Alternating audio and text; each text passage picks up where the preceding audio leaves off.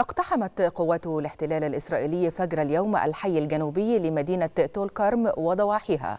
كما اقتحمت قوات الاحتلال ضاحية شويكا شمال المدينة وفي نابلس اقتحمت قوات الاحتلال الإسرائيلي فجر اليوم أيضا مخيمي العين وبلاطة وأحياء عدة في المدينة. على صعيد آخر أعلنت قوات الاحتلال الإسرائيلي أن مدنيا إسرائيليا قتل بالرصاص في بلدة قليقلية بالضفة الغربية المحتلة. مشيرة إلى فتح تحقيق في الواقعة.